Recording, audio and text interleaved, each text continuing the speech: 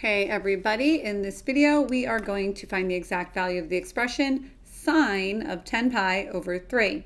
Now although 10 pi over 3 is larger than the typical 0 to 2 pi window that we like to look at for um, the unit circle, 10 pi over 3 will, with the being reduced and having a denominator of 3, will be coterminal with one of the angles on the unit circle and it's just our job to figure out exactly where. I like to start by figuring out where 3 pi over 3 would be. 3 pi over 3 is going to be right over here because that is pi, 3 pi over 3. To me, it's an easy, great place to start. From here, this spot right there, so that went 3 pi over 3. If I go the same distance, I'm now at 6 pi over 3 because I was initially at 0 or 0 pi over 3. I could even write 0 pi over 3. 6 pi over 3 does reduce to 2 pi. I'm just counting by pi over 3's, so I'm going to write everything like that instead. This technique actually, like even though it might be different than how you do it, actually comes in very handy when we start graphing trig functions. When we start graphing trig functions, we're going to be plotting five critical values on our x-axis to get a complete cycle and being able to count by increments of pi, fractions of pi is very, very beneficial to you doing really well in that unit. So, you know, double whammy, right? Now, that is the typical window we look at this, right? Zero to two pi. So this is obviously larger. So if I keep going by at least three, then a six and another three means this spot right over here will be coterminal with nine pi over three. So 10 pi over 3 is going to be the next angle after this. Well, how do I know whereabouts that is to have a visual, you know, understanding of it? If this is going to give us three slices of pie at the top, one, two will be the little breaks I'll hit. So we have one full pi over three right there. Then we go that distance again. Now we're at two pi over three. That's three pi over three. And then we keep doing that for five and six pi over three. So if you bust out a protractor, right, and you measure these angles uh, sizes, it's like cutting a pizza, if you look here, into one, two, oops, two, sorry, three, four, five, what am I counting? one slice, two slice, three slice. Oh, I see what I did. Four, whoopsie. This over here, the whole thing is five. I didn't mean to stop there. And six, six even slices. They're all increments of pi.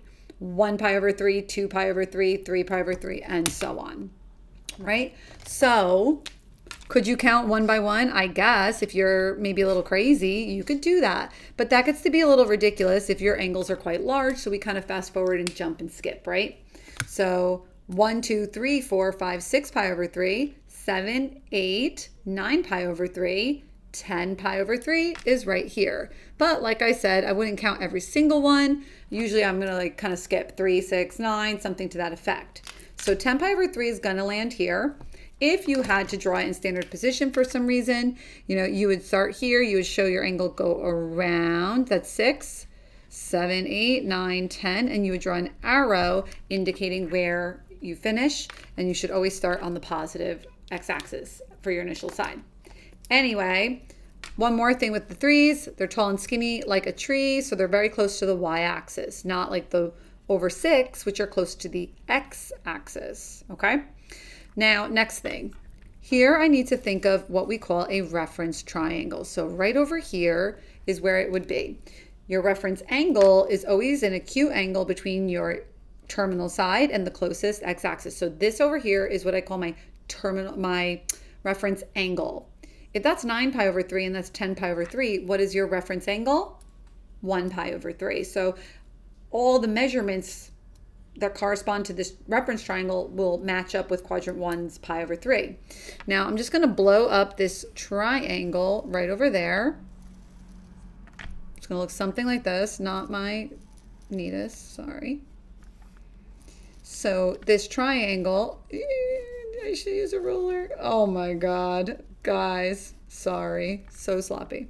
So this angle is pi over 3, the reference angle. This is 90 degrees.